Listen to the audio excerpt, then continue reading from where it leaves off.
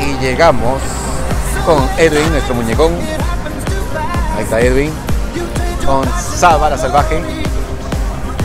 Rita la caimana. Aquí está.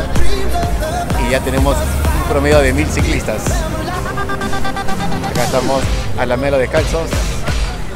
Aproximadamente.